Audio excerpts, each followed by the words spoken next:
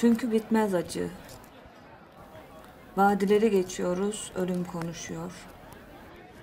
Ormanı geçiyoruz, ölüm konuşuyor. Ve zirvesinde dağların bir keder. Gitmiyor bizden, gitmiyor bizden o kalp ağrısı.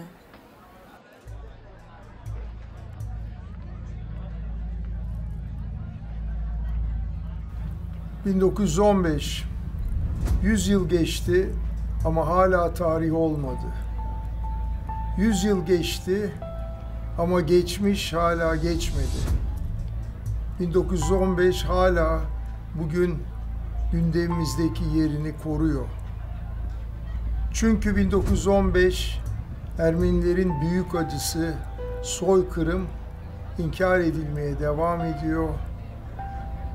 Ne zaman ki bu büyük acıyla yüzleşiriz, ne zaman ki bu büyük felaketi inkardan vazgeçeriz, o zaman tarih gerçekten tarih olur ve bu topraklarda da barışın kapısı açılır. Bizim Ermenilere bir özür borcumuz var ve bu özrü dilemediğimiz sürece biz büyüyemiyoruz. Gerçeklerden kaçan, hayal dünyasında yaşayan, hakikatleri inkar eden çocuklar gibi hem onların acıları tam anlamıyla dinemiyor diye düşünüyorum. Çok büyük bir utanç ve üzüntü vesilesi. Bu özrü dilememiz lazım. Birlikte bu matemi tutmamız lazım ve hakikatlerin dünyasında yaşamaya başlamamız lazım. Sevgili ülkedaşlarım, size böyle sesleniyorum çünkü aynı toprağın çocuklarıyız. 1915'te sayınız çok ama çok azaltılmış olsa da bu gerçek değişmez. Kardeşimiz Hrant Dink 1915'in idrak edilmesini isterdi. Bugün 1915'in bir soykırım olduğunu anlayan ve ortak tarihimizle yüzleşmek isteyen Türkler çoğalıyor. Yani ortak geleceğimizden umut kesmeyin. Yurdunuzdan, topraklarınızdan koparılmanızın, kırıma uğratılmanızın üzerinden yüz yıl geçti. Yüz yıldır yara hala açık, hala kanıyor.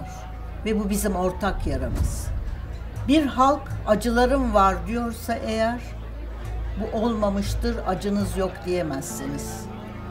O acılara ortak olmanın, acıları yaşatanların ilk görevi olduğunu düşünüyorum. Ben kolektif bir suça e, ya da kolektif bir sorumluluğa inanmadığım için bu Ermeni soykırımı diye bildiğimiz korkunç olayın acısını hissetsem de sorumluluğunu hissetmedim. Ama bir durum var. Benim yaşadığım ülkede, Türkiye'de daha hala bu olay olmuş olduğu şekilde kabul edilmedi. Olmadı diyen hala var. Dolayısıyla bu bana yaşadığım toplumdan ötürü bir sorumluluk yüklüyor. Demek ki benim de sorumluluğum var. Dünyadaki bütün Ermeni arkadaşlara da selam, sevgi. Birlikte yaşadık biz. Anadolu'nun bütün bölgelerinde hep birlikte yaşadık. Soykırımı değil mi falan diye konuşmaya lüzum bile görmüyorum. Soykırım olmadı diyenler oldu. Pekala oldu diyorum. Özgürlük ve barış arayışı için beni temize çekti Hrant Dink. Hepinizi çok çok sevgiyle kucaklıyorum, dostumsunuz. İnsanları sırf ırkından dolayı öldürüyorsanız bu benim için soykırımdır. Bu soykırımı bugün olduğundan daha da büyük bir acıya çeviren ise bence bunun reddedilmesi. Bu zorbalığın devamı anlamına geliyor. Acı çekenlerin acısını küçümsemek anlamına geliyor. 100 yıl önce işlenmiş cinayetleri hala sürdürmek anlamına geliyor. Bu yarayı ortadan kaldırabilmek belki çok mümkün değil. Ama bir kabulle, bir özürle merhem sürmek mümkün.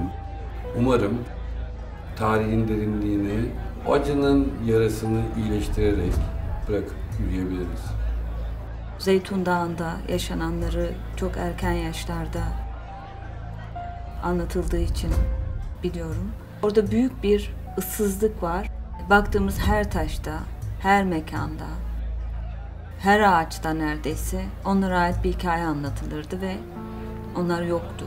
Çok büyük bir boşluk hayatımızda duran ve o insanların, o bakışların hayatımızdan çekilmiş olmasının verdiği hüznü ruhumuzda büyük bir girdap oluşturan ve bize acı veren ve bizi eksik bırakan o boşluğu tamamlayabileceğimize inanıyorum. Bütün o insanların hikayelerinin bizim hikayemizin bir parçası olduğunu düşünüyorum. Yaşadığımız evin içinin boş olduğunu düşünüyorum.